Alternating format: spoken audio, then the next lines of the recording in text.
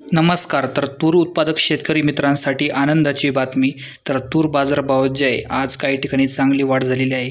तरी सर्वांना विनंती करतो चॅनलवर नवीन असाल तर सबस्क्राईब करून बेलायकॉन नक्की दाबा. आपल्या व्हिडिओला लाईक नक्की करा.